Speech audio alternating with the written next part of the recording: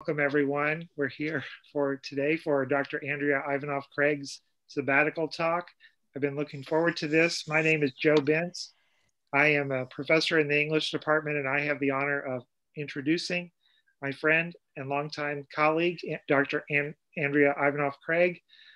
Andrea is also my neighbor in the Rose Garden at APU, even though neither of us is there right now. So she's uh, we have offices next to each other and if she gets too loud over there i have to pound on the wall to quiet her down but usually she's pretty pretty calm over there.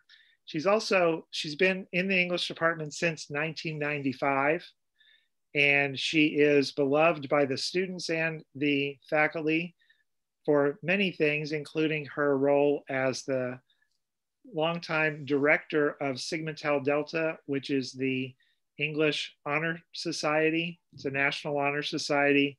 And Andrea has served at the national level as well as sponsoring our local branch of Sigma Tau Delta. She teaches a wide variety of courses in the department writing, American literature, world literature, and film and literature, among others. She teaches uh, disability studies, which is what she'll be talking about today. She's done a grad course called Representing Disability in Film and Literature. She's going to include disability studies and other courses this year, including her writing 200, 200 level writing course and her World Lit course. In 2017, she published a book called Moving Toward Redemption Spirituality and Disability in the Late Writings of Andre Dubus. She's cur- currently writing the book Capable Vulnerability, Disability in Representation and Device, and she'll be talking about that today. Andrea has a PhD in literature from USC. She has an MA from USC and a bachelor's degree from the University of Redlands. Her son Cameron is graduating from APU this fall, and I'm sure that's a great relief to Andrea as it is uh, to all parents. Great relief for him. yeah. Andrea and I have sons that are the same age, and so they're both. They both uh, Jacob just graduated this year too, so we have swapped ch- child stories over the years. In her spare time, she likes to play wordscape tournaments and design interiors online. She has received top prizes for her designs and frequently finishes in the top 10 in the Wordscapes tournaments. So it's not all just writing about disability with Andrea. It's gaming. So, so ladies and COVID that did it to me, you guys. It's COVID. COVID, yeah. Yeah, so that's what I'm blaming for my online addictions. Yeah, well, there could be worse COVID addictions, right? So, There's a lot of smart people out there on Wordscape, let me tell you. from all walks of life. It's just really cool talking to them about, okay, how come, how come you guys have such big vocabularies? You know? Anyway, it's fun. So I welcome Dr. Ivanov Craig. She'll give her talk and then she will open it up for questions at the end. Thank you, Andrea. Thanks, Joe. That was a very generous introduction. Mm-hmm. And uh, once again, uh, Joe has a special part, special place in my heart since we've been I've known him for so long. Um, and also thank you, Emily, for coming. It's great to see all of you, Monique and Ashley, and my friend Chaos, uh, Robert Dubereau, who's not showing his face right now. That's okay, you don't have to. and welcome, Josephine, too. Okay, so um, let's start by saying this. Um, I am inspired by the current moment. And so what I'm going to do with is, is go ahead and start the PowerPoint. So I will share my screen with you and hopefully everything will go well. Here we go.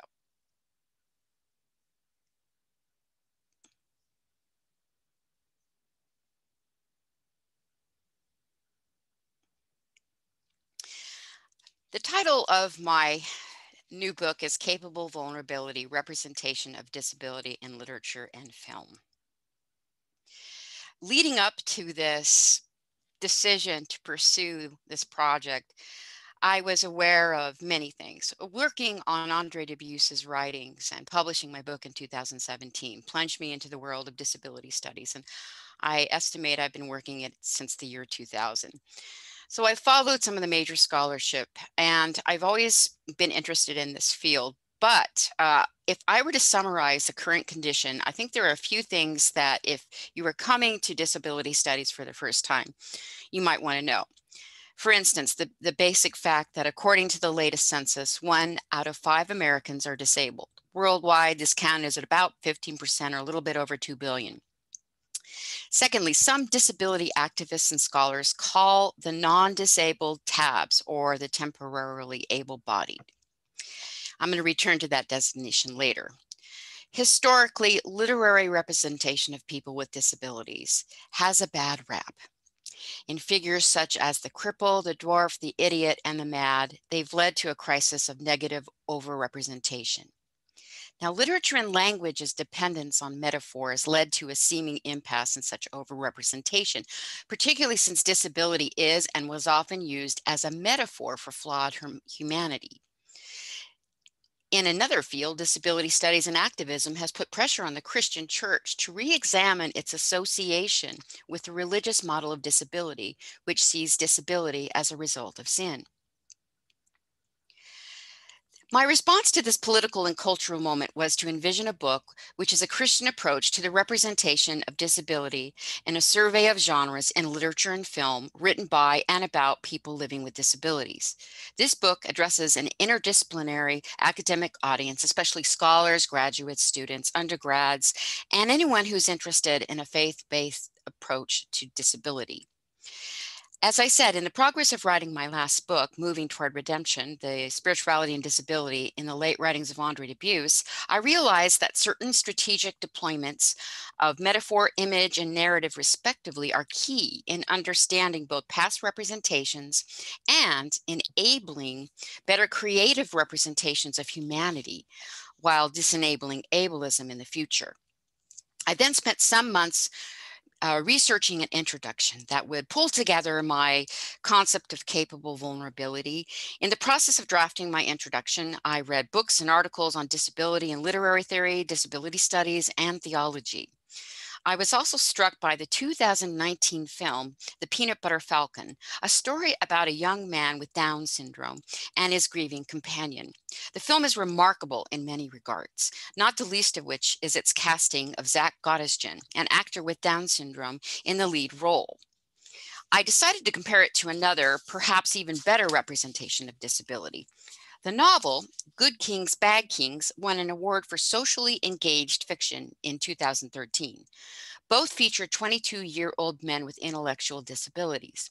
More importantly, both allow the play of capable vulnerability, a concept which not only describes thematic content, but the very nature of language itself. So what I want to share with you today then is a little bit of my introduction and its subsequent application to what might become my fourth chapter. The Peanut Butter Falcon versus Good Kings, Bad Kings. Well, versus is a little too violent, but it's a comparison. All right. So a little bit about capable vulnerability. Capable vulnerability is an oxymoron describing personhood as represented in literature and media through rhetorical figures of incompleteness and substitution, using metaphor, simile, metonymy, and the like to represent disability invokes and challenges our understanding of disability as both a social construct and an experiential naming of our body's encounter with the environment. To be vulnerable means to be subject to. As such, it carries a strong connotation of being under the power of. It implies a certain openness to harm. From such a position, how may a vulnerable person be capable? Likewise, how might an imperfect or incomplete operation be effective? How might vulnerability be capable? Common to the discussion of disability and embodiment in several fields, theology, disability studies, and literary theory, is the agreement that dependency is the defining feature of human social interaction. Discourse within these fields highlights an illusion of self-sufficiency, normality, and exact reproduction. Representation has always been an approximation of any current historical, sociological, political, and aesthetic creation of reality. The need for people living with disabilities to secure human rights of access, respect, and legal equity has in turn pressured discursive forms, particularly fictional narrative and poetics, to honor authority. The trope of voice and having a voice is central to the rhetoric of most political identity groups. First person accounts and person first language obtain such authority and respect. To speak for oneself in such discourse trumps having others speak for one or about one. Mimesis has come up against 21st century proliferations of self representation, which we see as somehow closer to the original, closer to reality. Speaking and its metaphoric replacement writing thus is recruited to redress oppression in the history of depictions of disability. In particular, literary depictions, in Michael Berube's formulation, ubiquitous, work as a form of overrepresentation. However, such ubiquity flips the aphorism of not seeing the forest for the trees to not seeing the trees for the forest. This is an important point. Rather than a sheer ab- absence of characters of color or, say, non Western ethnicities, there is an overabundance of secondary and prejudicially portrayed characters with disabilities in literature uh, before the contemporary era. As Rosemarie Garland Thomson pointed out, in our traditional literary canon, quote, the disabled figure in literature is almost never a main character. Literary critics interpret them metaphorically or aesthetically, reading them without political awareness as conventional elements of the sentimental, romantic, gothic, or grotesque uh, traditions. Garland Thomson moved from strict attention to literary scholarship to a broadened sociological, feminist, and cultural approach, partly in an effort to redress oppressions of people living with disabilities. Such a move suggests that she found an exclusive focus on literature and the enterprise of literary interpretation less useful. Ato Quayson's argument in his book Aesthetic Nervousness is helpful in this regard because it rearticulates the relationships between and among literature, aesthetic, and ethics. He states, the representation of disability has an efficaciousness that ultimately transcends the literary domain and refuses to be assimilated to it.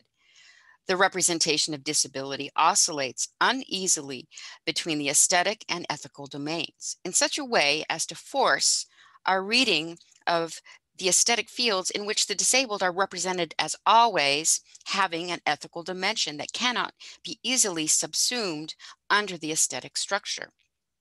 Ultimately, aesthetic nervousness has to be seen as coextensive with the nervousness regarding the disabled in the real world. I have always interpreted this statement to mean that we interpret literature with different kinds of purpose and assent. While we may be satisfied with some literary dimension of plot or character, literature would lose its lifeblood if we did not react emotionally, spiritually, and ethically. What then does it mean to read a text or a figure purely aesthetically or purely ethically?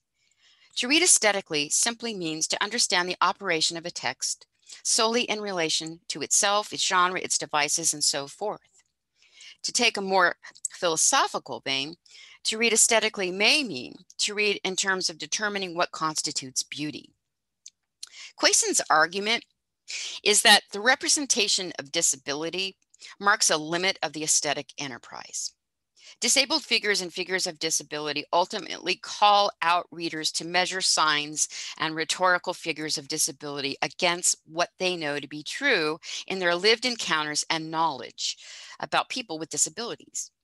He explains it is not that disability resists representation, but that it automatically restores an ethical core to the literary aesthetic domain, while also invoking the boundary between the real and the metaphysical or otherworldly.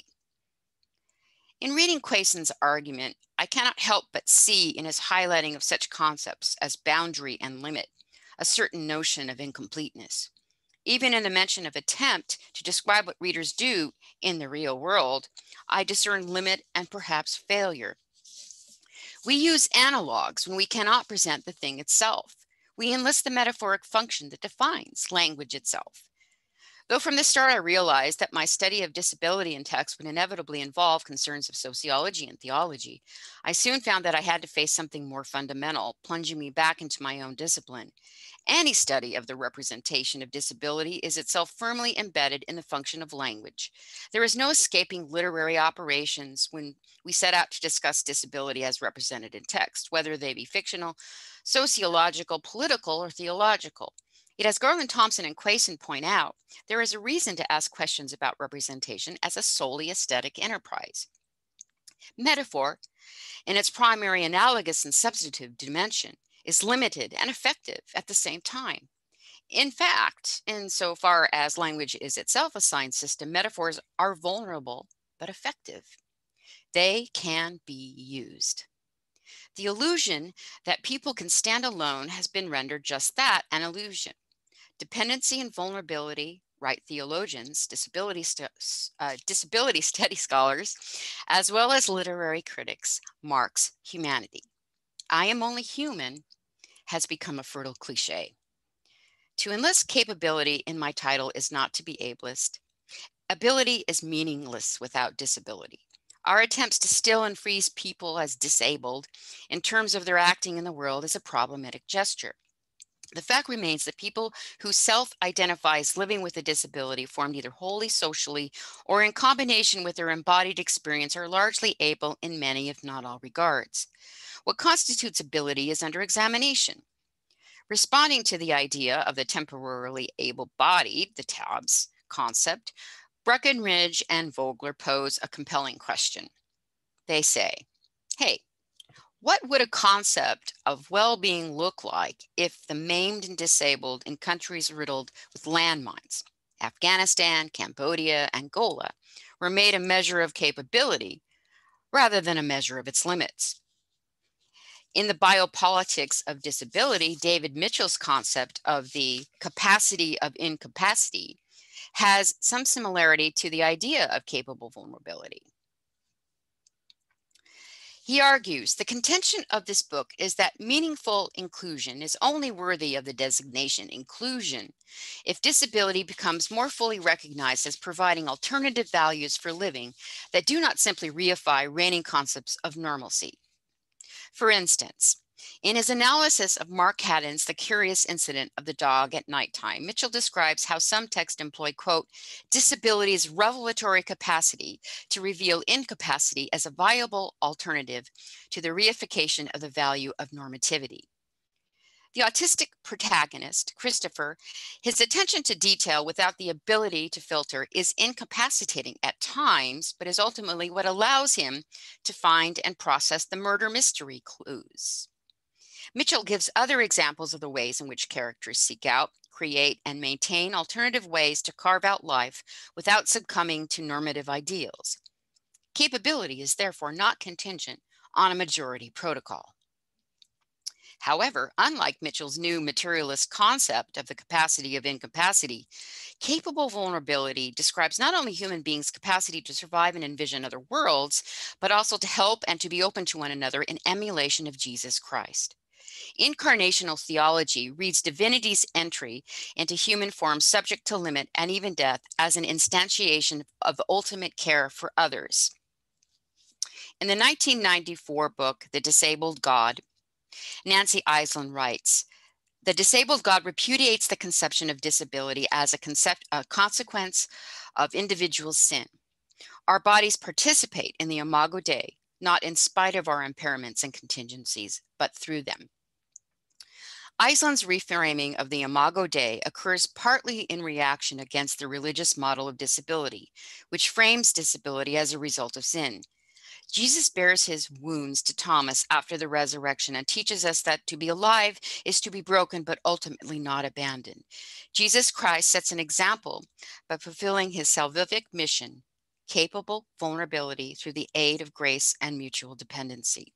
Human beings exist in a continuum of brokenness. That is why studies such as Thomas Reynolds' 2008 Vulnerable Communion argue, quote, Acknowledging our shared human vulnerability can be an important route into building solidarity among disabled and non-disabled people, exposing the hollow, norm, hollow norms of attractiveness, individuality, and productivity upon which our consumer-oriented culture is built.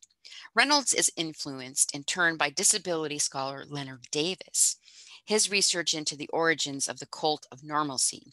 He traces this idea of l'homme moyen, or the average citizen, back to the 19th century mathematician Adolphe Quetelet.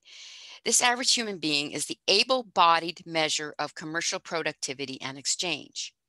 Related is Rosemarie Garland Thomson's concept of the term normate, the quote, social figure through which people can rep represent themselves as definitely human.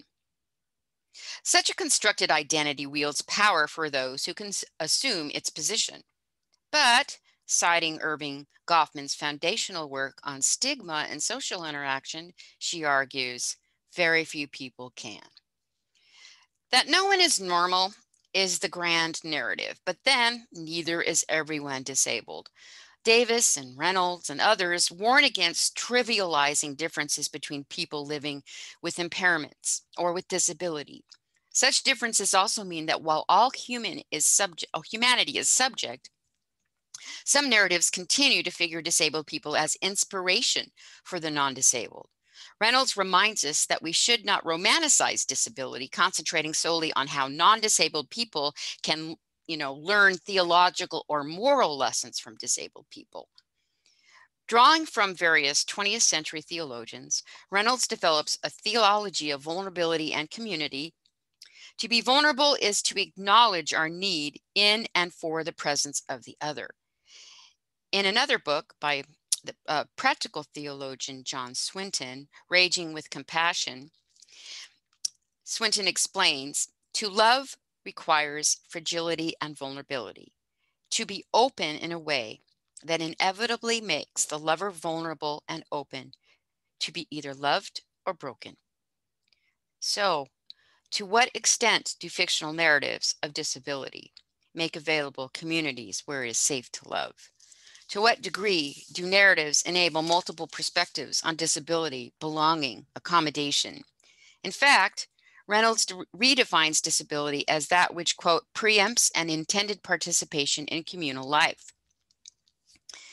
So to be out of community is to be in disability. Consequently, narratives must go beyond the rule of the exception, that single development arc of one disabled character among the disabled. The representation of disability in texts, both literary and filmic, and their various operations bring together literary theory, film theory, disability studies, and theology through various trajectories or versions of capable vulnerability. As our bodies, minds, and spirits are marked by limit as well as grace and ability, so is our language and the operations we render with language, including and especially representation. Capable vulnerability describes the metaphoric function. Whether we represent ourselves or others, we do so in language. Language is metaphoric, metaphor is analog, and therefore we represent not exactly, but analogously. Analogously, but often effectively. The constant hermeneutical question should be, however, to what effect? That is the question I am asking in the following reading of two progressive representations of disability in literature and film. While both texts demonstrate some version of capable vulnerability, both do not do so to the same extent or effect. The 2019 film, The Peanut Butter Falcon, uh, rather than the 2013 novel, Good Kings, Bad Kings, is complicated by the extent to which it diminishes capability and remedies vulnerability in the interest of market popularity. So, a little bit of background. The Peanut Butter Falcon is the story of Zach Gottsagen, rather, Zach. Zach Gottsagen is the actor who plays him, a 21 year old man with Down syndrome who escapes from a nursing home for the elderly and stows away in a boat belonging to Tyler, Shia LaBeouf, a disenfranchised crab fisher. Tyler discovers Zach and is ready to dump him off at the first opportunity. However, here is Zach, wearing only his underwear, apparently helpless. Far from it, Zach is a self proclaimed badass who wants to become a professional wrestler like the famed saltwater redneck, played by Thomas Hayden Church, whose videotape he has watched countless times. Zach is not free from discouragement, however. When Zach insists on informing Tyler, I am a Down syndrome person, Tyler comments, I don't give a shit. In the meantime, nursing staff worker Eleanor Dakota Johnson, who has befriended Zach, sets out to find him. Tyler's enthusiasm picks up after he has met the pretty Eleanor and learned that Zach is a wanted man. Tyler even decides to coach Zach in his wrestling aspirations. They eventually team up with Eleanor on their Huckleberry and River raft. Together, the three travel south to meet the saltwater redneck, realizing their various goals and bringing inspiration to a few along the way. And mine, here's my first clip. Here we go. Let me know if there's any problems hearing it. What in the Christ? Hey, Zach, why don't you sit down, bud? You're kind of close to the edge. I don't want you to fall in. Hey, are you hungry? Have you eaten anything? I am not really hungry. Well, maybe you should just have a bite of something for your blood sugar. You don't want none, do you? You know how you get, buddy. I have an apple. Hey. I have some M&Ms. What? Don't do that. Don't do what?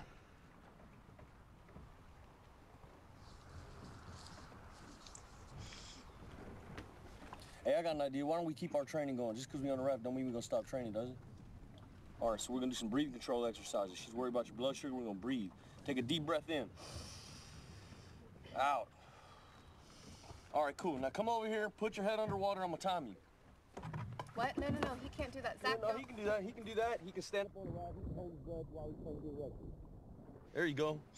You better stop calling him a retard. I have never called anyone a that word. Okay, hold on. Listen, when people are saying he's a retard, really what they're saying is he can't do some shit they can do. So you might not be saying the word retard, all right, I'll give you that, but you damn sure is making him feel retarded. That ain't gonna help his life. Hey, there we go. Time. How long is that? Long. Not long enough, Zach. Do it again. Okay. You have got some real nerve talking to me like that. Do you even know what I do? I've spent the last two years of my life volunteering to hold people's hands as they pass away.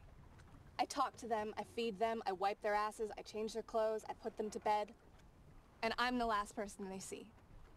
Don't act like you know jack shit about me. All right. Yeah, maybe he should not be in a retirement home, but I didn't choose that for him. But that's what happened, and now I am doing the best I can. Oh! Oh! Hey! Oh! oh shit! God! Zach! Okay. Lunch! Zach, did you just catch that with your hands? How'd you do that? You're a wild man. oh my god. So Tyler Nilson and uh, Michael Schwartz wrote The Peanut Butter Falcon as a vehicle for the talented Zach Gottsagen, whom Nilson met at a camp for actors with young, uh, young actors with disabilities. Casting an actor with Down syndrome is not without precedent, but it's a little less common in mainstream cinema than in television.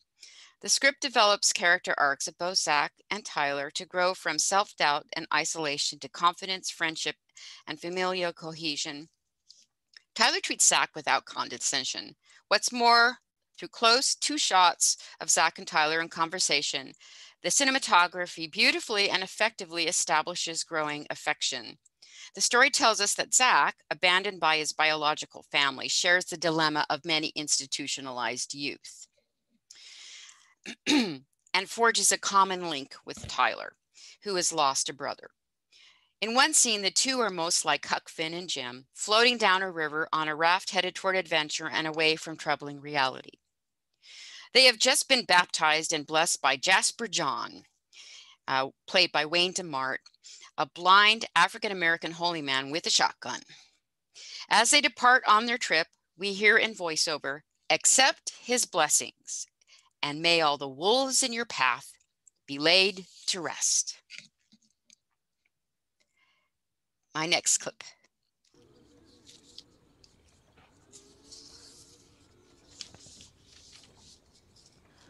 Tell her I am going to give you all of my wishes for my birthday.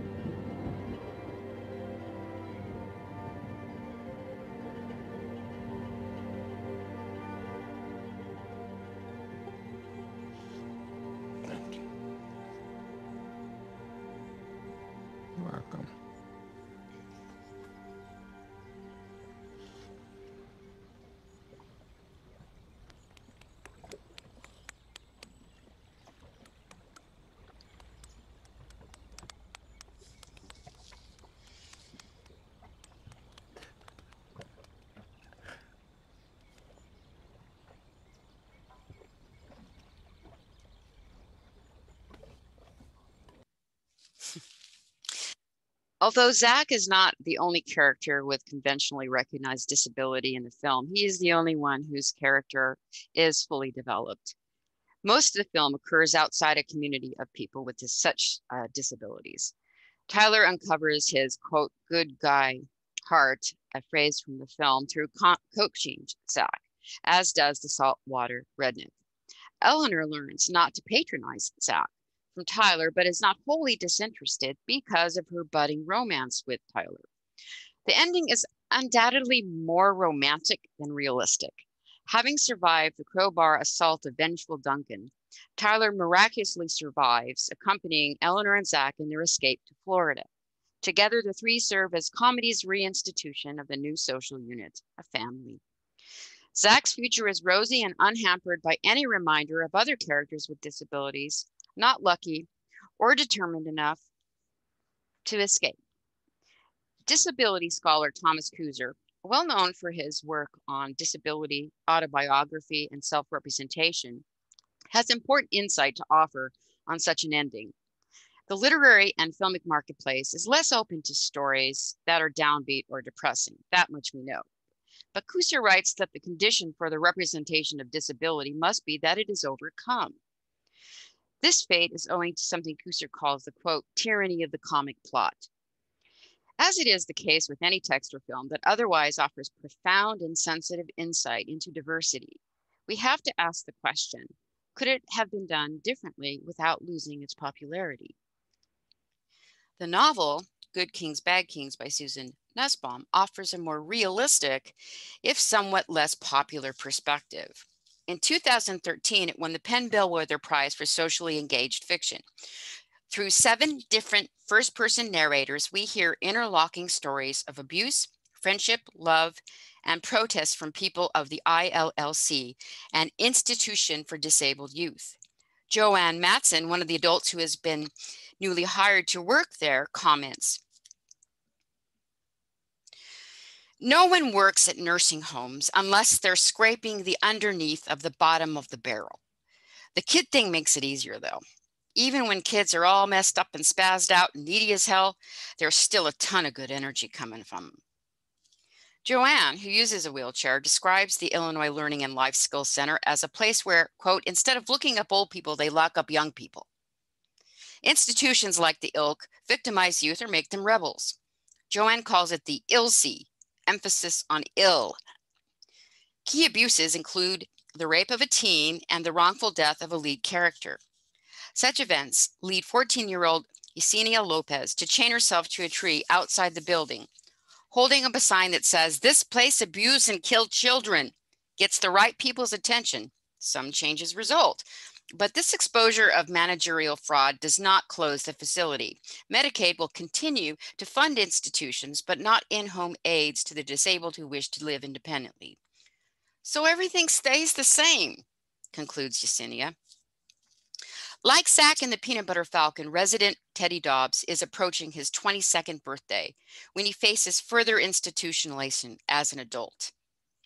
Teddy's first sentence in the novel is I got a plan to run away.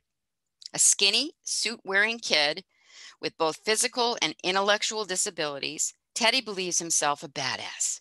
Together, Yesenia, Teddy, and their friends fill staff toilets with rolls of paper, share clandestine smoking hangouts, and for the most part, look out for each other. And in this scene, from Teddy Dobbs' perspective, he is temporarily distracted from his grief with his over his girlfriend's strange um, coldness towards him.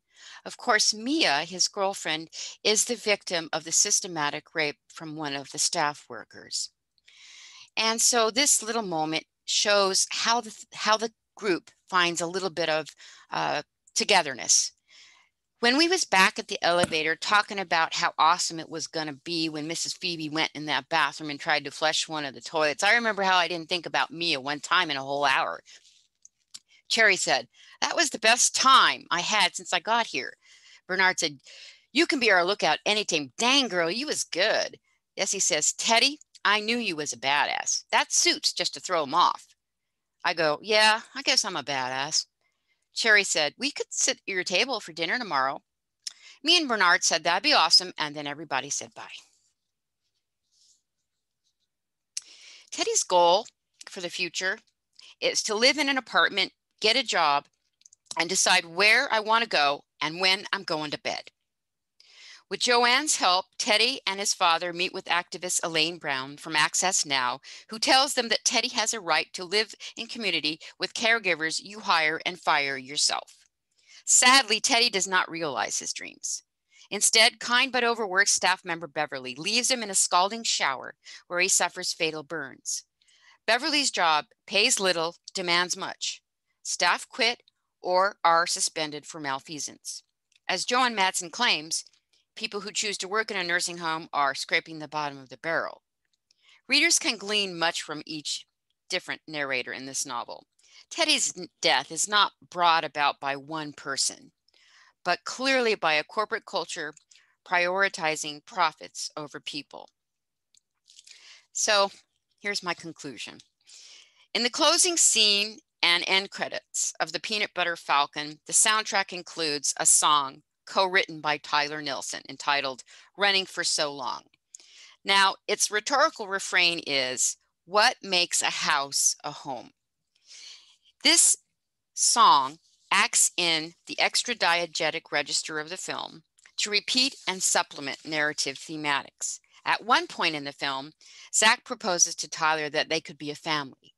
Thus, the film, according to its medium, amplifies the narrative's focus on homecoming and home creation. The little family of three replaces Zach's lost family, solves the loss of Tyler's brother, and promises to end Eleanor's widowhood. However, although we know that the film medium enacts in different registers from the print, the novel borrows from film an analog of the single scene or shot that can reiterate major themes. The final chapter of the novel belongs to Yesenia, who successfully escapes from the ilk only to return and experience her own homecoming. Jimi Hendrix, a staff member, has decided to foster Yesenia in a small family recreation similar to that in the Peanut Butter Falcon. When Yesenia returns late at night to the ilk, she sees a single staff member waiting in the, uh, in the uh, lobby. It was Jimmy, is the final sentence of the novel. Both narratives emanate from a view of personhood as fundamentally vulnerable but capable. Both appear to foster community and interdependency. However, only Nussbaum's novel ends in a picture of community that does not romanticize the social reality of institutional living for the disabled. Teddy Dobbs dies, but Yesenia has a chance to be fostered by an African American who identifies as lesbian. It is not at all certain that Jimmy will be allowed to adopt or foster, Thus, the novel ends with some ambiguity, but not with despair. On the other hand, Zach escapes from the nursing home and Eleanor deserts her duties there. The film story is not about reforming institutions, but escaping them. Zach finds love and acceptance in his newfound family, but Teddy is not so fortunate. Zach's dramatic escape, which, like a certain magical slow motion effect in the wrestling ring is a huge leap. Reform, Good Kings, Bad Kings suggests, takes place in baby steps and costs lives. Zach Gottsagen's performance and casting are definitely coups for actors with disabilities and for the cause of self-representation of lives lived with disability generally. Tyler's treatment of Zach is nearly blameless and their friendship genuine. We need to live in full acknowledgement of the human need for relationship and interdependency. Both Peanut Butter Falcon and Good Kings, Bad Kings do this, so it is not an either or victory for this one aspect of understanding disability. The problem is that we need more stories that focus on the lives and struggles of Joanne Madsen's hidden subpopulation, those who, quote, live out their lives in 900 square feet of space, end quote. There are those who do not escape to live the romanticized and rebellious dreams of Huck Finn and Jim. Whenever we tell stories in which people with disabilities appear singly or in the guise of inspiration, we necessarily limit the extent of true reform. Thank you.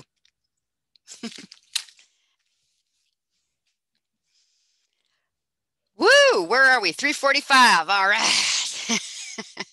45 minutes. Yay!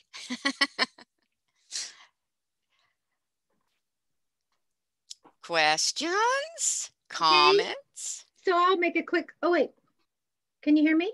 Yes. Okay. So I am very proud of you for sticking with this project and I look forward to this next book. I think it's going to be amazing. I don't know what other what other fiction or what other films you're going to do, maybe more than this one, but if this is an indication, then go for it. Um, this last point, and maybe for this whole chapter that you're working on, it seems like you're saying, well, one can either represent a disabled person as a victim or as some kind of superhero that overcomes.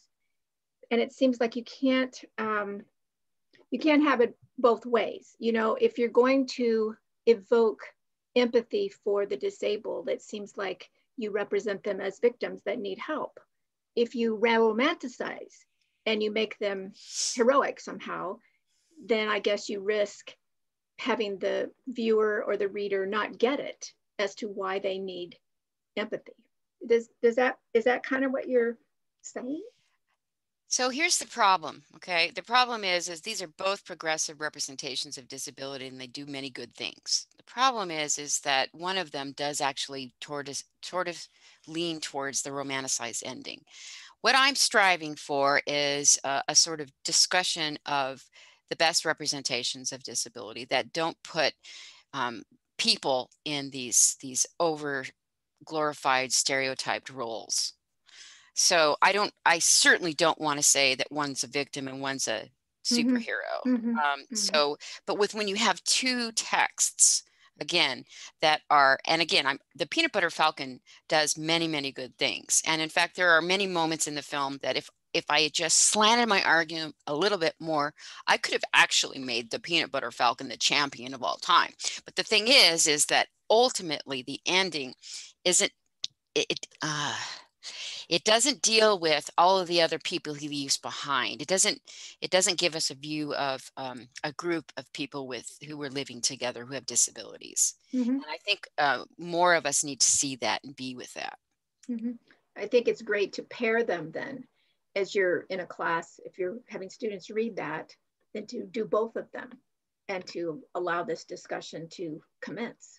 This film wasn't available when I was teaching the um, mm the uh, course that Ashley was in, who is there, she read Good Kings, Bad Kings. So, um, so she knows that we like that. She liked that book, I think, and many people did in the course. But the, the Peanut Butter Falcon wasn't available; wasn't released until the fall.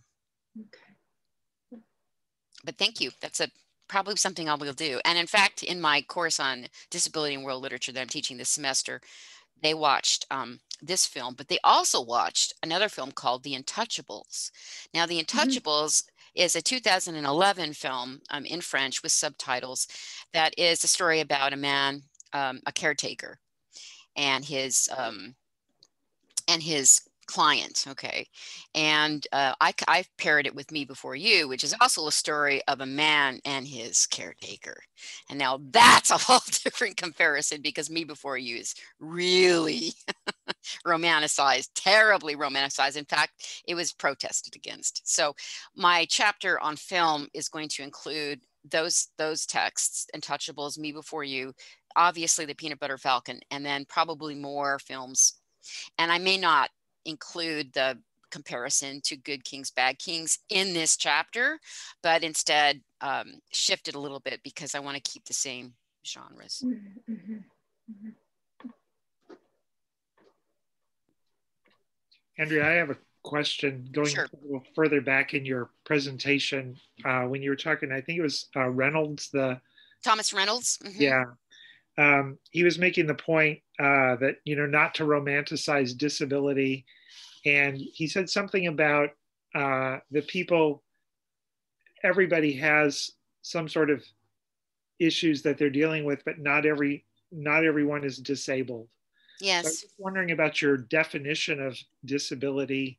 Is that something you you've had to come to terms with in your research in terms of just ha- when does something become a disability rather than just something something else? You know. Uh, I was afraid somebody was going to ask you that question. it's it's a really contentious question.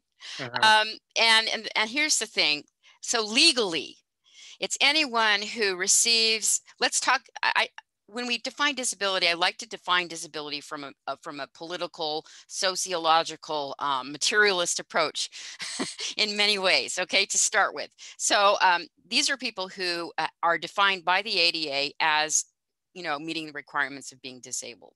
Now, that gets me off the hook on a lot of regards, but when it comes to uh, a, an understanding of who we are as human beings, uh, then we start to talk a little bit differently. Like, for instance, the idea that um, the shift in thinking to eh, from and this is a major ideological shift and it's been going on for you know a century or so and that is the shift from rugged individualism to communal dependency.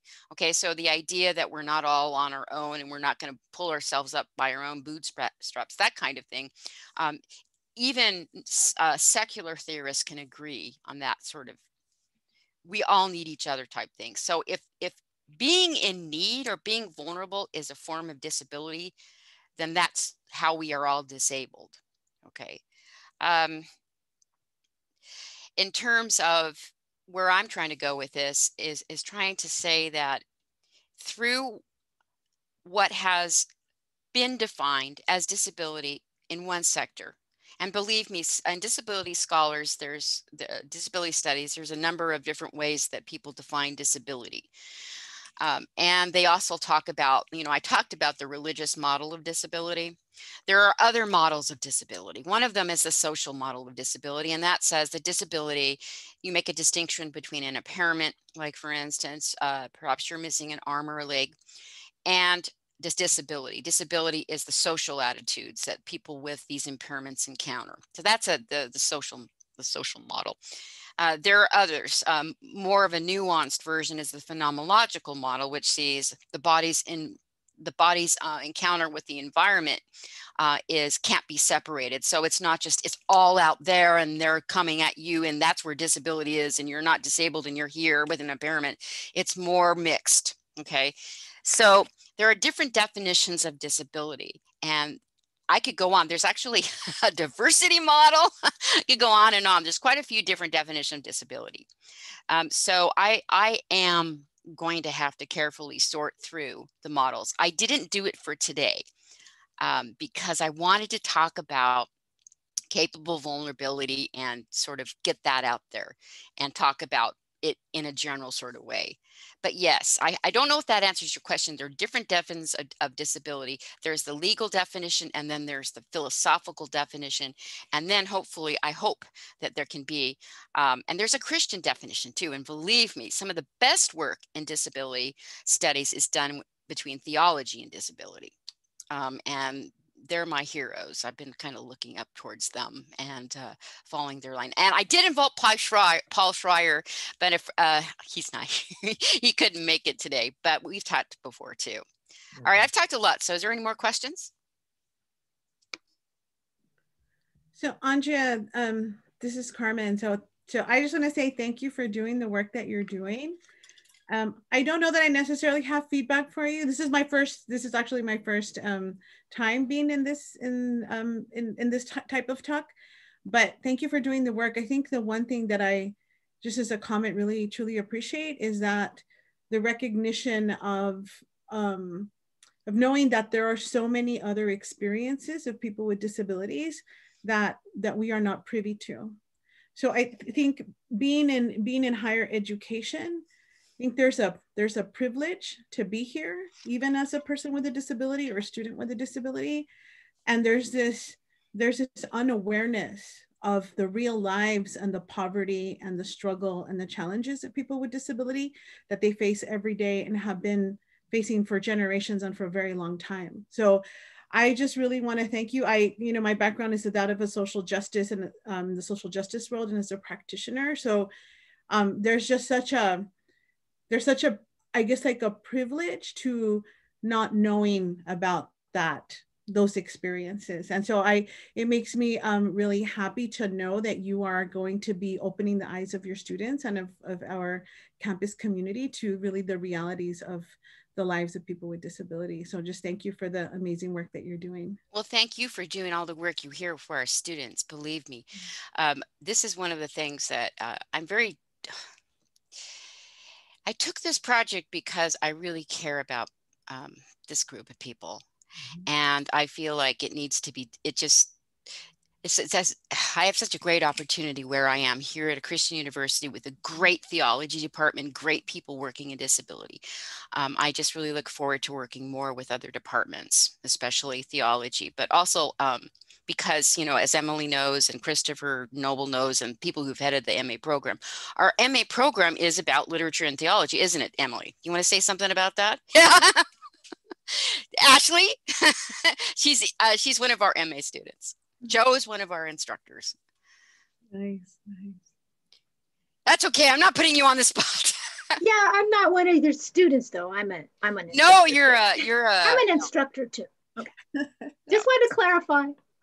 Okay. Well, I mean, yeah, there's a, there's a faith integration aspect to every subtopic in critical theory that we look at that gives a lot more meaning to what it is that we're studying, what um, literary allegory or metaphor or theme, whatever it is. So um, I think actually taking your class, Dr. R, Dr. Eyes, um, that's when I started to ask a lot of these questions, especially um, I forget who what the author was, but this the disabled God Yes, Nancy Eiesland. Mm-hmm. Yeah, Nancy Eiesland. The even just the the notion of that, I still don't fully understand it, but it's still really it's a new, I don't know, a new perspective that I never would have thought of thinking with disability. So I, I and I, because I learn things best through literature. Um, you know, I I learn things about the Bible through a lot of fiction. You know, it's it's easier for me to understand things that way. Um, I, I find that this was I don't know. It's it's inexplainable. It's um, it's something I never would have considered. So, and and as someone with disabilities, viewing myself differently through fiction and and, and um, different testimonies and things like that has been, yeah, very. It's, it's a testament to the program. Um, one one more area that I have not even mentioned, but that I, I've been looking into is CMT or cognitive metaphor theory. and that's at a, a, really super technical linguistic area. And I did some reading there too. Um, it was just a little bit beyond the pale for me to try to represent today. but um, I, I, think there's something here with this, this um, resistance to uh, being thought of as disabled people being as metaphors for something um, that that's a real problem and in popular media and just across the board. So i think it's being in the field of literature and literary studies we're a, in a unique position to be able to do something about that. I um i did not get that. I did not think that's what you meant when you said metaphor. I thought it i didn't think you were saying that disabled people are used when they're represented in fiction or film as a metaphor for something else, I thought that you were talking about representing the disabled through the use of metaphor, like in a poem or um, in an image, that how are they represented in the in the genre of film or whatever.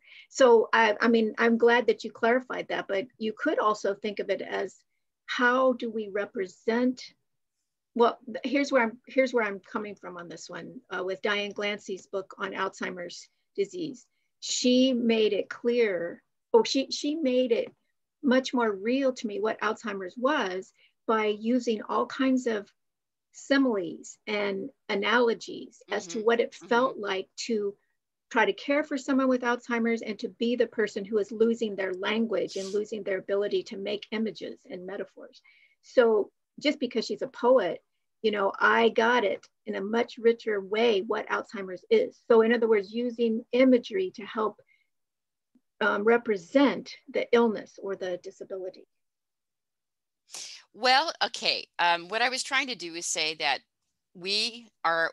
I actually am reacting to a piece um, that I, I assign to my graduate students called "We Are Not a Metaphor," and it's it's, it's an old interview about mm-hmm. um, people with disabilities, activists, poets, creators, writers, and they're discussing the issue of of the stereotype of uh, disabled characters in fiction and in film being used as metaphors for okay. something else, right?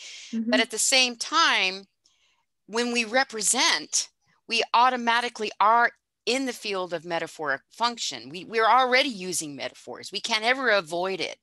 So I'm trying to, to, to redeem metaphor in a way, all right, to show that the way we work anyway is through analogy through mm-hmm. st- things that stand for something else. And then if you mm-hmm. look deeply at the operation of metaphor as it being an approximation, it's not a complete capture.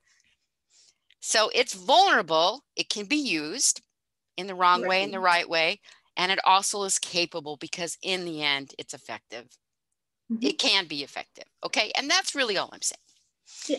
Or more or less, or what I'm trying to get at. But yes, I realize why you might have construed that. And thanks, you know, Emily, you always ask the best questions. you know, a lot of times, I think uh, when I talk to, um, I think, um, I think I once told you that sometimes when I was writing, I don't know what it was I was writing. It might have been um, the book, but I was, I think I thought of myself writing to you because you would ask me all these questions. That's hilarious. It is. That's hilarious. Well, let me tell you, I, I have so much empathy for you being on sabbatical. Don't let anybody kid you. Being on sabbatical is a challenge, and especially right now when it's so hard to get focused. I am, my project has multiplied. It's morphed into 85 different projects. I'm trying to learn Greek and Hebrew so I can so I can study the Imago Dei and it's Genesis. Like CMT. I just wanted to know about the Imago yeah. Dei in Genesis 1. And so now I'm like doing a whole word study. And, it's got and then I realized I got to know Hebrew. And I go, my gosh, Hebrew? I can't do it fast. So anyway, I need to not be on sabbatical pretty soon because I'm going crazy. I've spent the whole year at home. anyway, last semester on sabbatical and this semester. Yeah, well, but, I, um, I miss you guys. I miss your little right. faces and yeah, love you guys. Oh, can I just call up, make a shout out? Thanks, Linda. Is my sister's here. Oh, hi, Linda. You could say hi, Linda. You don't have, you can unmute yourself, but you don't have to show yourself if you don't want to. You there? Oh, she's there in spirit. All right. Uh, Dr. Ivanov Craig, I believe that as the person who introduced you, I'm responsible for uh, calling a halt to this. Uh, so I uh, want to thank you. This has been a fascinating hour to spend listening to this, and it's really very thought provoking. And I think we've all appreciated it and wish you well with this continued research and this work. And can I say one more thing? Sure. Thanks. I have to thank Robert Dubereau over here. Um, his name is Chaos. I met him from Sigma Tau Delta. He has actually been attending my graduate course and he helped me with his presentation. Oh, great. He was my my my editor and mm-hmm. proofreader and hard guy. so thank you. Right. And thank you, Monique and Ashley and Yvonne. And Carmen, it's so good to see you and meet you. I'm sure we'll talk again. Yes. Um, I look forward to working with you. yeah, be it, yeah, I know it's big. It'll be good. And Emily, good luck. Don't hang in there. Cherish every day. That's Believe right. me. It doesn't you wanna- very often. Suck the marrow out of it. Believe me, I am. I love every day. I'm loving my sabbatical every moment. I gotta Yes. get back to work. Yes. I gotta get back to Bye. work. Bye, everybody. Bye. Everyone. All right, Thank you, take care. Okay, bye.